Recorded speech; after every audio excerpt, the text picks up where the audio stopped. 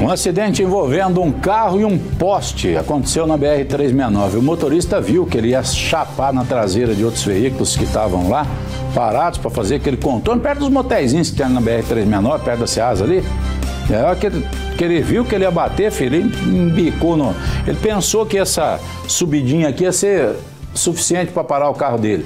Aí quando ele viu que não, que ele ia entrar na pista de lá, ele tocou para cima do poste e parou o carro. O, ele teve um ferimento no pé que não foi tão grave assim.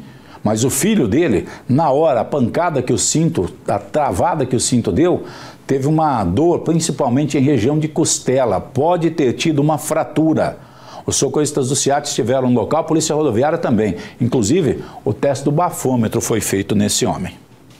O Elias Pietra Catela, de 44 anos, foi socorrido pelos homens do SIAT e trazido aqui para a UPA do Jardim do Sol para uma melhor avaliação. Ele vai ter que passar por raio-x?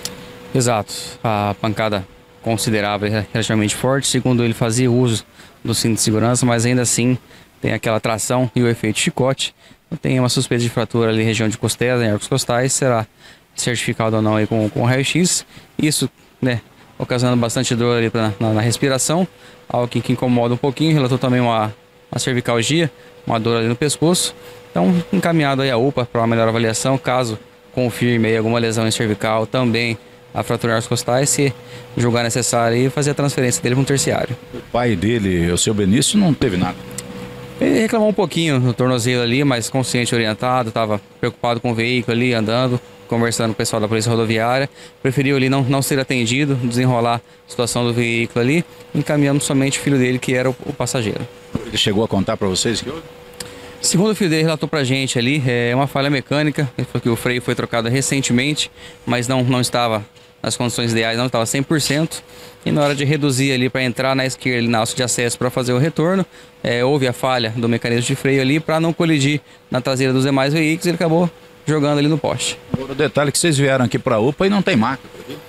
Exato, a maca retida é o, um problema recorrente nosso aí, mas normalmente terciários, né? Santa Casa, Evangélico, HU, onde o fluxo de internações é muito maior, né?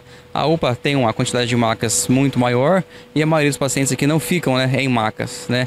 Mas infelizmente às vezes ainda acontece, hoje foi um desses casos aí, porém a enfermeira responsável já já nos avisou que muito em breve aí ela faz o contato com a gente pra gente retornar aqui e fazer o resgate da maca. Tem que vir buscar aqui. Aí tem que vir buscar.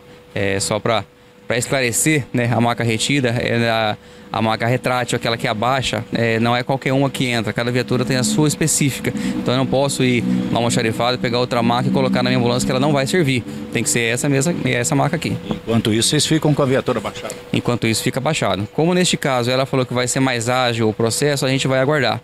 Né? Em outros casos, em hospitais terciários que não tem prazo para para recuperar, né, para devolver a nossa maca, a gente vai no xarifado, pega uma maca que não cabe na ambulância, não encaixa, aí a gente vai no hospital e faz a troca.